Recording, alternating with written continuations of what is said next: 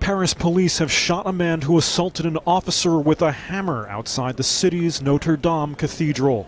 Law enforcement sources telling Reuters the man threatened officers with the hammer and was shot in the torso when he refused to stop.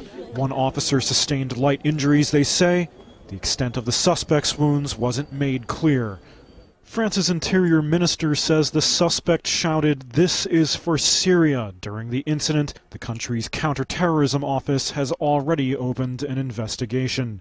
Europe is in the midst of a wave of militant attacks inspired by Islamic extremism, and Paris has seen some of the worst of those incidents.